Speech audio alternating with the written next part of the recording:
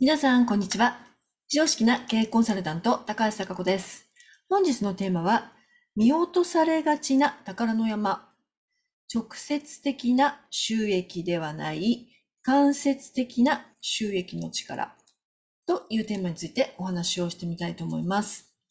えっ、ー、と、実はですね、私のあの著作の中の一個にこちらの本があります。えっ、ー、と、感情価格術という、えっ、ー、と、価格をどう決めるか、ねぎめの本ですね。こちらの本が、あの、私の、えー、本の中の一つにあるんですけれども、こちらのあの価格術の本を出したことによりまして、まあ、価格のセミナーとかね、いろいろやっていたりとかしていたんですね。で、参加者の方も当然価格のセミナーということなので、まあ、自分の、業種、業態、業界っていうのが値上げが難しいという、まあ、そういうあの業態でやってらっしゃる方もね、いらっしゃる。で、あの、私はどちらかっていうと、えっ、ー、と、サービス業の方が得意なんです。で、物販の方は、あの、ダメではないんですけれども、えっ、ー、と、物の価格があるものに対して、それをこう工夫して売っていかなくてはいけないっていうので、物販はサービスよりは得意ではありません。で、その段においてですね、まあ、先般、あの、ご相談、新規の方でご相談を受けた方が、まあ、物販の方だったんですけれども、まあ、その方とお話をしたときに、改めて気づいた気づきがあったので、えー、今日は、その間接的な収益の力っていう、これをテーマにですね、ちょっとお話をしてみようかなと思っているのが今日の内容です。はい。ではですね、本題に入っていきたいと思います。あの、まず、見落とされがちな宝の山っていうことで、えっ、ー、と、収益っていうのは、まあ、売上というふうに優しく言っても構わないんですが、えっ、ー、と、じゃあ、売上っていうのは、どういう構成で売上が上がるのかというお話をちょっとあらかじめ前提でお伝えしていきたいんですよね。で、まず、一つ目が、売上を上げるための要素ですよ。まず単価です。単価。えー、いくらで商品売るのかっていう、この単価は当たり前ですけど、100円で売るのか、1万円で売るのかで、全然値段違うじゃないですか。なので、単価がいくらなのっていうのは、まあ大事ですよね。業種業態によって違いますけど。かけることの、まあ人数ですよね。何人ぐらいに売りたいのか。あ、ちょっとこれも計算機欲しいかな。何人ぐらいに売りたいのか。で、さらに、その人たちが何回リピートして買ってくれるのか。これによって売り上げっていうのは、まあ、決まってくるわけですよ。だから、売り上げを伸ばしたいんです。まあ、収益が欲しいんです。まあ、収益構造の話はまた業界によって違うんで、ちょっと去っておいて、単純にじゃあ売り上げとします。今回のお話は。そうすると、例えば、業種業態の性質によっては、えー、単価は上げられるけれども、客数も大丈夫だけれども、リピートって難しいよねっていう業種業態あるの分かりますか？いや、ゼロじゃないんですよ。ゼロじゃないし方法もあるんですけど、難しいんですよ。何だと思いますか？えー、これはですねあの、いわゆる一生に一度の買い物と言われているものはリピートがされにくいです。その人本人はということですね。例えば家。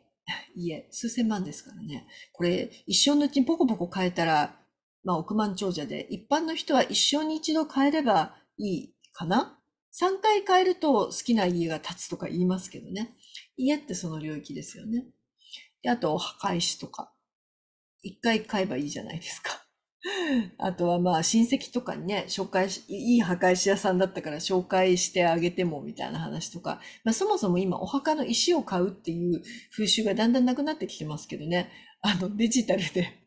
デジタルの墓参りとかあるのこの間テレビで見ましたからね、やっぱこう、自分が、ね、予約入れとくんでしょうね、きっとね。予約入れといて、その前に立って、な、誰それなんたらっていう番号とか入れると、自分のご先祖様のお墓が出てきて、そこでこう、お祈りして帰るっていう。なんかもうデジタルでパッと出るだけだから、いらないですよね、面積ね。あの、骨がどうのこうのとか、そういうこととかなしに。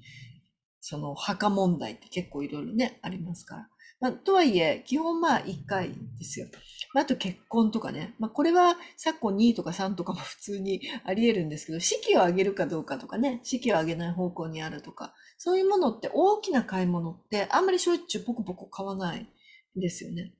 じゃあそれに比べてティッシュとかですね、トイレットペーパーってどうですか？なくなったら買いますよね。とりあえず。なくなったら、あのブランドチェンジはするかもしれないけど、買いますよね。っていう消耗品と呼ばれるものは何度でも買われるんですよ。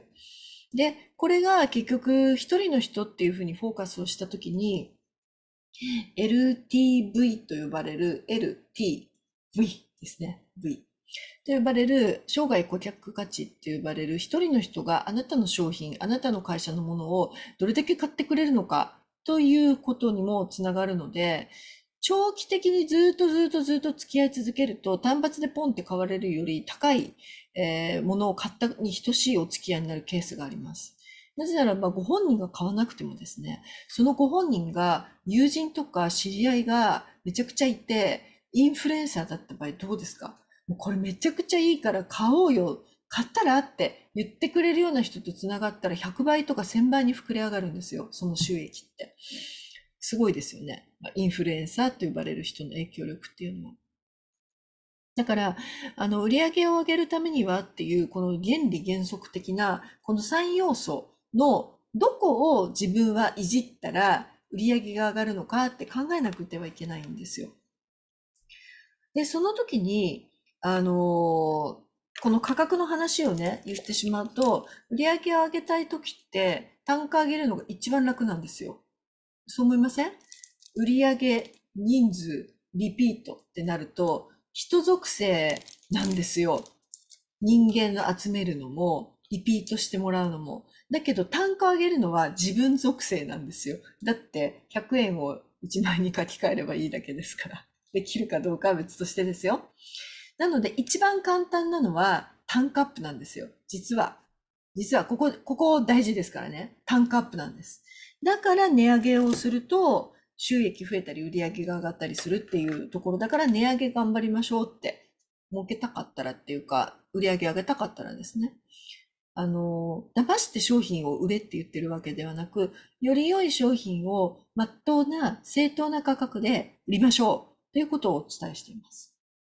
で、この時に、やっぱり業界選んじゃってる業界とかによっては、そもそも自分で勝手に値段を決められない業者として、えー、仕入れのところとか、あとはその、おろすところとの法人関係の絡みの中で、どうしても値段を自分でいじれるところがね、ないとか、いうような時っていうのは、値上げでどうにかっていうのが無理なんですよ。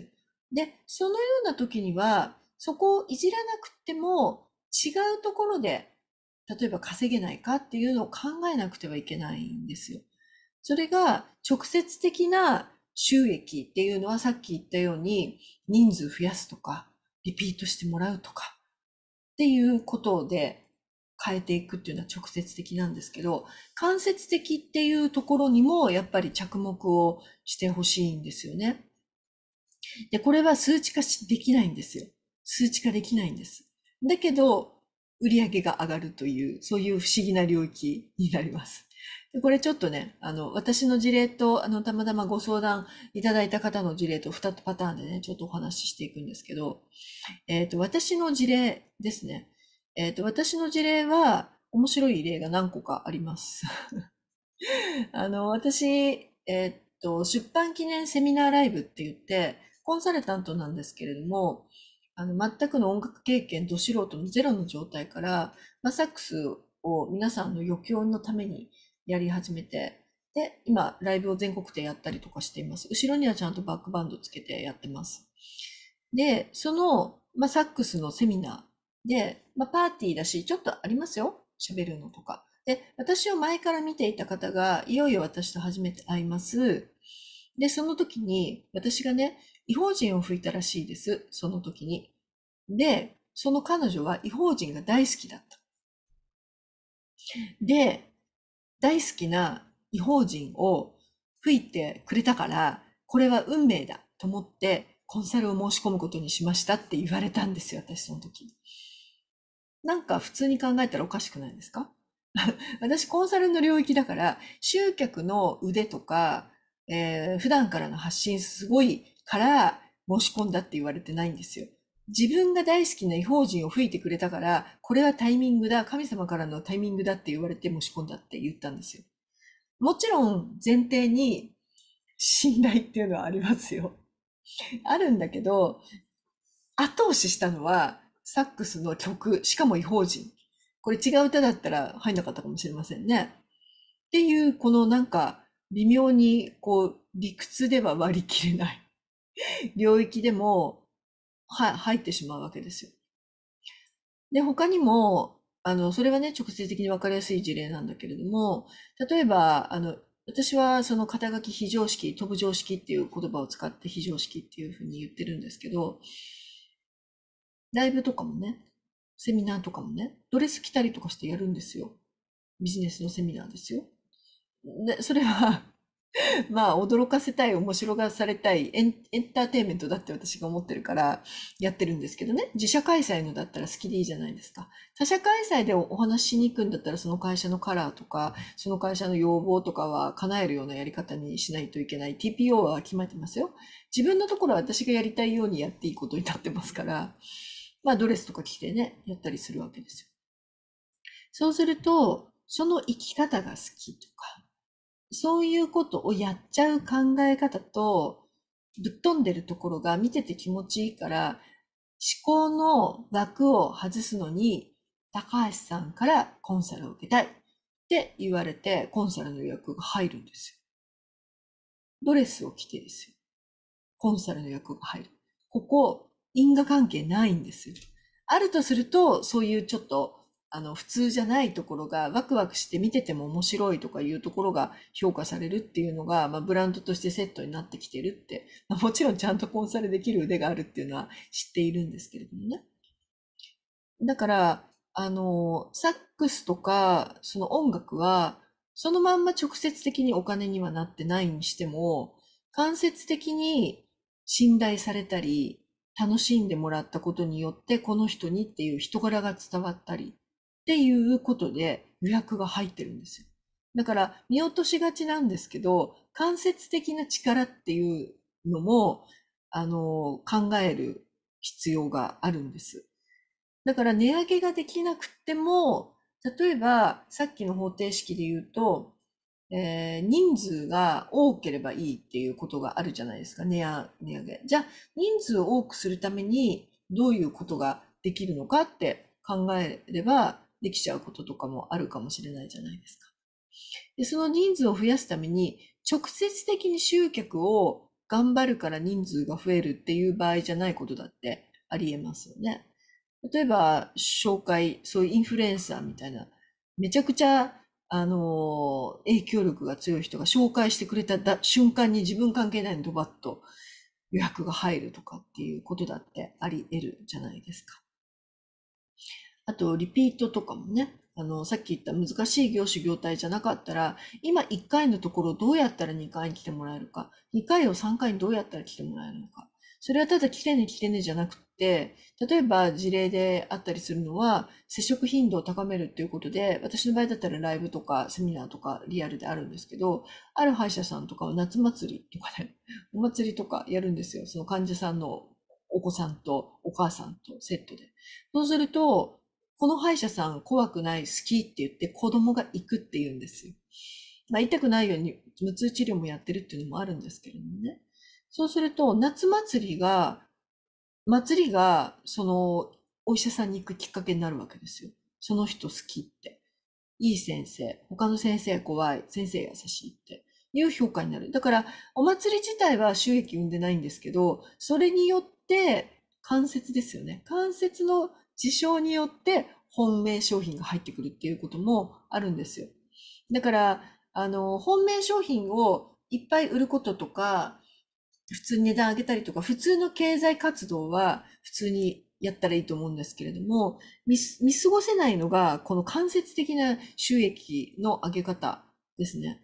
特にブランディングとかに近いところなんですけど、さっきの三原則の中でどこをいじればそれができるのかっていうのを頭使って考えないといけないんですよ。結構頭使ってない方多いです。あとね、頑固の方ね。あの、業界を変えれば、全然ヒントとアイデアって山ほどあるし、自分の今持ってるスキルとか、業種業態とかも違うところに持っていくと違う価値を生んだりすることもあるんですよ。あの、この本のね、中にも書いてあるんですけれどもね。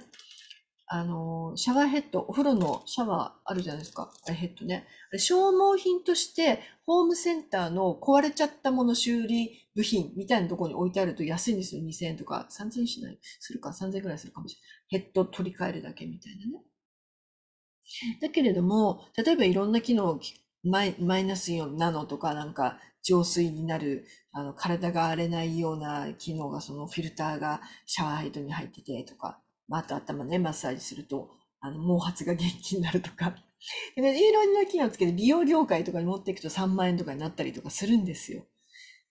ていう、そういう、だから、場所を変えたりとかすると、お客様も変わるので、それによって商品が売れちゃうとかっていうこととかもあったりするんですよね。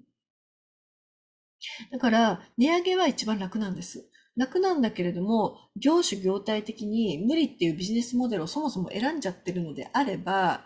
もうそこは他業界で売るっていうことを考えてもいいし、自分自身が新しい何か違うスキルを身につけて売るとか、業界外にもちゃんと目を向けて、つまりトータルで収益が合えばいいですよ。事業なんて。な、何手を出そうとも。あのーいっぱいはもちろんやらない方がいいっていうのは効率から考えるといいんですけれども、あのとそれ、それをね、やっていくっていうふうに思うことによって、世界が広がったりするときに、業界だけの知識って邪魔なんですよ。あの、枠超えられないから。で、私結構発想とかいろんな発想できちゃうのは、あらゆる業種業態の方と、普通になんか顔出した時にいろいろ話を聞いたりとかして、あ、そう、業 界変わると、そういう感じに変わるんだっていうのを知っているからです。もともと。だから会えば会うほど私のアイディアの引き出しは増えていって深みを増すので、皆さんに提案できる、まあ、飛んだと突拍子もない場合もあるんですけれども、アイディアっていうのは違う業種業態からも見たりするっていうことです。だからトータルで売り上げ上がればいいんですよ。だから間接的な、そうなんか一見損に見えるようなことかもしれないことでも見てる人は見てて申し込む場合は勝手に申し込まれるので、多分大事なのはご自身の人間性とかが分かってもらえるように一貫性のある発信と発言をしているということです。あの人はこういう人だよねっていう信頼感があれば、それに商品がくっついてくる形になるので、自分自身の信頼感をまず増すっていうのが先で、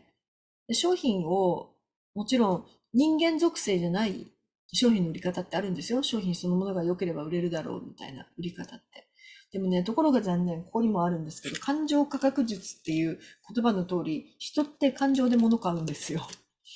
で、その際に、あの人嫌いって言ったら絶対に嫌いな人から買いませんからね。絶対に買いませんよ。だって嫌いな人の売り上げ貢献するなんて自分が買っちゃったことによってですよ。ブランド変えても、っていうか買わないです。その人が嫌いすぎてね、その人からしか買わなきゃいけないっていうんだったら。でも、別に商品が憎いわけじゃなければ、違うお店で高くても嫌だったら買えばいいじゃないですか。安くてもその人嫌いで買いたくなかったら、高くて違うお店で買えばいいだけの話じゃないですか。だから逆に唯一無二の商品とかになっちゃうと、もう高かろうが何しろがその人が好きだったらそこから買うしかないので、その領域に行くともう最強になりますよね。高いとかいう好きな価格をつければいいっていうことになります。基本的に。だから、あのー、